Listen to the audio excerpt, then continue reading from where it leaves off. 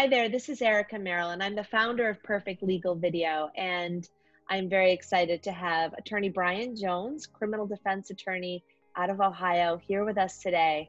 We are going to be diving deep into forensic science and the law and criminal law in, in particular. So I want to thank you so much, Brian, for joining us today for this interesting interview. Hi, Erica. I'm really excited about today's topic. This is a, this is a really good one. I agree. So why don't we just start with the definition of, you know, what is forensic science? What does that mean? So forensic science is uh, basically science in the courtroom. So uh, when you add the word forensic to any field, then you're talking about that field as it relates to courtrooms, litigation, trials, things of that nature. So, forensic science is any science that is ultimately going to impact or uh, go into a case. Well, that's really good to know. Um, so, you, I think pe- most people know about forensic science from watching CSI and, and other crime shows. I swear, I mean, you know, and there are there are people that are in the professions where they see it every single day. And you are in one of those professions. And so you've seen where it might hurt a case or help a case or where things can go wrong. And I wanted to, you know, before we get into what can go wrong and, and what can go right with these sorts of cases um, with forensic science, can you tell us and give us some examples of uh, cases you know where forensic science has come into play for you? Absolutely erica. So we have had uh, sexual assault cases where forensic science has played a major role. We've had dui cases where forensic science has played a major role. We've had drug possession cases where forensic science has played a major role. You know for instance we had a sexual assault allegation against a child where our client's dna was found in that child's panties and you would hear that fact, and I'm sure you and all of our viewers have heard that fact right now and said, oh my God, his DNA were, was in her panties. What we learned from our investigation was that the entire family's laundry was uh, tossed into uh, essentially a dirty laundry pile in their laundry room. And after it came out of the washer, it was all then put back into a clean laundry basket to be ready to be folded. And what we learned is two things when we worked with our uh, forensic DNA expert. First is that uh, putting a clothing item through a wash and dry cycle will not necessarily remove DNA from that clothing item. Second, by intermixing everybody's uh, clothing items into the same dirty clothes basket, wash cycle, and clean clothes basket, um, their DNA was was all mixed up and intermingled. So there were about five, six people living in this house at the time that these allegations arose. And when we had other articles of items, articles of clothing tested, we were able to identify everybody's DNA um, on everybody else's clothing items. So, what at first blush seemed to be an incredibly damning fact, um, an allegation against our client, it turned out to be uh, absolutely nothing of any import whatsoever. Um, you know, we've had D, DUI cases where blood and urine samples um, are left out in a laboratory for days or even weeks on end. And if you know anything about um, sugar, it ferments uh, over a period of time, and fermentation turns and creates alcohol. And so our clients' blood alcohol levels or urine alcohol levels were incorrectly increased because samples weren't taken care of properly.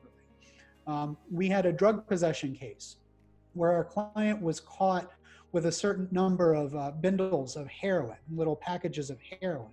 And that heroin was dumped out onto a scale uh, from their packaging to weigh the heroin. And then that heroin was by the lab analyst then redivided into the various bindles. Those bindles were then sampled. Uh, a limited number of the, the bindles were chosen for actual testing to determine if there was a controlled substance in any of these bindles. Well, you may be able to conclude, Erica, that intermingling and mixing up all the samples uh, before you test them. Now you don't know which samples were in fact narcotics and which were not narcotics. So in all three of these cases, we were able to use our investigative techniques in addition to our uh, knowledge of forensic science to create really favorable results for for all three of these uh, clients. Wow, I mean that's that sounds like you've really done your your research to even think of that because I, I mean I'm not in the business, but I I definitely wouldn't have thought of that, and I I definitely wouldn't have known a lot of those facts. So I mean it's a good thing for your client that you know they they were able to you know find that out. Now, can the way that forensics tests are performed affect the results?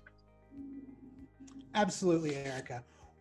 What you mentioned earlier is absolutely true in regards to the vast majority of the public thinking that lab technicians and quote unquote forensic scientists are at, at some equal playing field with academic scientists um, and private industry scientists. The reality is that many of these labs, these state and federal labs, don't adhere to uh, proper scientific standards the training that the lab technicians goes through are different. The techniques that these individual labs are often proprietary, meaning only these state labs perform the testing techniques the way that that individual lab performs the testing techniques. They don't share data with one another the way an academic lab or professional lab share data with one another. So their testing results often can't be verified um, across a wide cross section um, you're you're getting uh, what often people refer to as a feedback loop, a positive feedback loop, where they they perform a test, the test comes out the way that they expect it to, uh, but nobody's in there saying, "Hey, um, there was an error in this testing process." So that that lack of peer review, outside peer review, um, can often create very inappropriate results and inaccurate results. Um, you know, in reality, forensic testing should be done no differently than academic testing. It's got to be performed meticulously. You have to keep detailed records. Your results have to be repeatable. Um, and you should have peer review and constant variable compliance checks to make sure that the standards of these tests are met. And those are some you know, very high level ways that uh, these tests can go wrong and end up in wrongful convictions, Erica.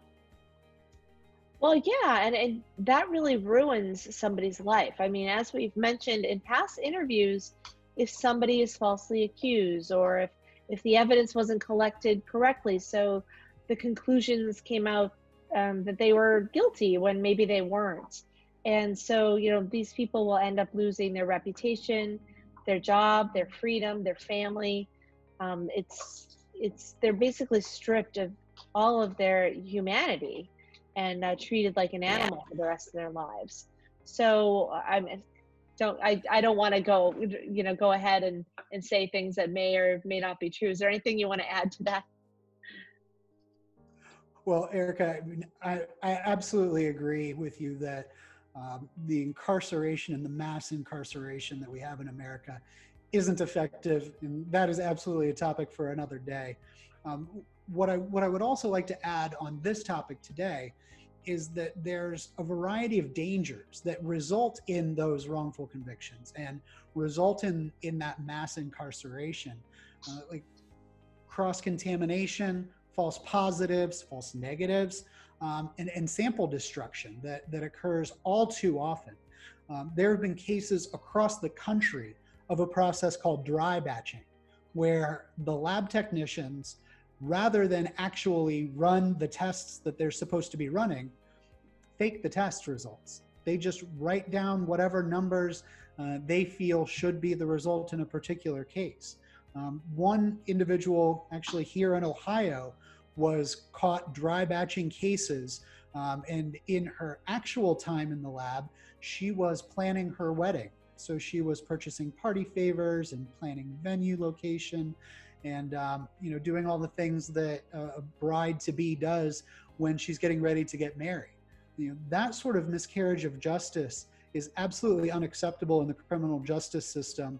And that's the reason that we, through our investigative processes, make sure that we follow up and obtain this uh, packet of information called the bench notes. So it's the uh, the lab technicians handwritten notes as they go step by step through the testing process and then the actual machine printouts showing that these samples were in fact tested the machine was properly calibrated um, that the results are spit out in raw data so that we can review it and know that there is in fact raw data present to review um, and more importantly in appropriate cases have our expert witnesses review that raw data Wow, that is really interesting and, and very sad to hear about because the amount of lives that were probably ruined uh, because of that woman is is terrible. And uh, you know, as, as a result, they it's just really hard to get your reputation and, and your job and your family back once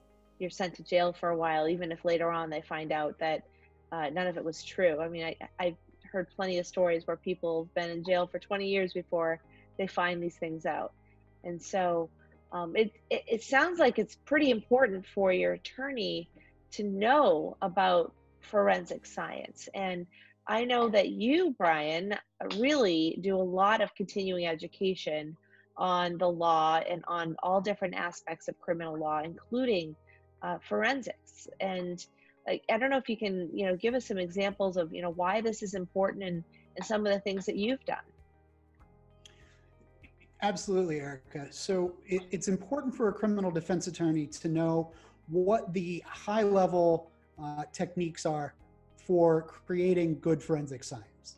So care starts from the moment an agent arrives on a crime scene. From collection, um, you have to know who was present, what was collected, how it was collected, and it goes all the way through the forensic testing process to the analysis and reporting of results you you don't put a, a let's say a urine sample in a machine and the machine tells you oh that person was intoxicated. That machine spits out a graph and a lab analyst has to interpret that graph. Now if the lab analyst doesn't interpret that graph correctly accurately fairly. We have a failure of forensic science. Uh, you know one example on the collection end. We had a case where um, gunshot residue was a key piece of the prosecution's evidence.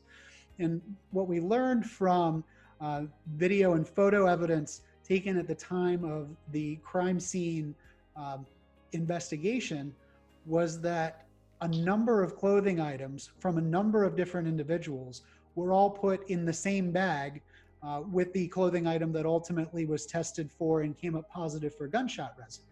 Now, that's bad science because we can't tell where the residue initially came from. Um, you know, we've had, as we mentioned before, the urine results that were left out on a counter somewhere for weeks on end. We've had cases, it gets a little more technical, but urine um, in a DUI case, the bladder is a reservoir. And so the first void of the bladder, the first urination, uh, will always have a much higher alcohol content or um, alcohol metabolite content than a second void. And the second void of urine is the one that actually is representative of the blood alcohol content at the time of the urine sample being submitted. Um, that urine from two, three, or four hours ago is an aggregation of all of the urine over the time period two, three, four hours. So you often have artificially high reports in that situation. Um, you know, defense attorneys need to understand at a high level. You don't have to get down to the granular level. You don't have to know how to precisely interpret these results. You don't know how to ma- you don't even know how to maintain these machines, but you need to know what to look for. And it's critical that attorneys take the proper continuing leg- legal education that teaches them what to look for in these scenarios. Um, defense attorney needs to know that information so that they can investigate these cases properly and present the defenses that are available and challenge incorrect forensic science in the courtroom um, when when science fails. Um, and i think it's most important that a defense attorney have that basic background in science so that they can communicate that information to their client. Because oftentimes we are talking about very complicated issues of chemistry, physics, um, and in some cases, even psychology. And if you can't translate that information to your client, uh, you're really doing your client a disservice and not showing them the truth of what the evidence is. And maybe even more importantly, you may be missing critical defenses that are available. That's the reason I think that it's so important that I stay up on scientific techniques. Um, I read various treatises and um, I stay up to date on the most important and, and most cutting edge scientific techniques for these testing uh, that we run into most frequently because I don't want to miss something that sends somebody to prison for 20 years wrongfully. Wow, I mean, those are all fantastic points that you make, and uh, it's really good to know that you, you you really do work on being the smartest attorney in the room, and it helps your clients. There's no way it doesn't help your clients because not knowing that information is going to result in a bad, you know, bad thing for your for your clients. So, um, you know, you're taking the extra time to keep keep up with that, and that's so important. And so that could be a great example of a question that you ask a criminal attorney if you're looking to hire one. And if you are in the Ohio area, you should definitely hire uh, Brian Jones and, and some of the attorneys there because they just do an amazing job. They're very thorough. They make sure that they are up on all of the information before they walk into that courtroom. And you know, they have a checklist of things that they they look for and they they know what can go wrong ahead of time because they have been there for trial after trial after trial and they've seen the way things go and everybody learns from that experience and they bring that experience to you when you hire them and so um, definitely give them a call if you have any questions on any of those types of cases that we've talked about today and so uh, brian i want to before i say goodbye i just want to make sure that uh, i didn't miss anything we had some basic questions on this on this topic, and you've given some excellent examples. Uh, is there anything else you'd like to mention before we go? Well, first, Erica, I want to thank you for those kind words. I, I appreciate you saying that. Um, what I would like to tell everybody before we sign off today is that forensic science is not just limited to the kinds of cases that we talked about today. Forensic science touches almost every single area of criminal defense. And I would just reiterate what you said a moment ago, Erica. If you're looking to hire a criminal defense attorney, it's critical that you ask them about their knowledge of forensic science and make sure that they have at least that basic understanding, that high level understanding of what to look for. It's going to be the very rare attorney that can drill down into the granular aspects. And those attorneys are likely to have depth, but not breadth when it comes to forensic science knowledge. So make sure that your attorney has that base of knowledge before you spend the money um, on what can be a very expensive mistake. Absolutely. I think all of that makes sense. And I, I want to thank you so much for joining us again here.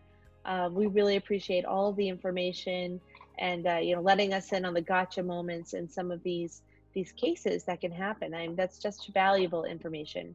So um, thanks again for joining us, and I hope you have a fantastic weekend.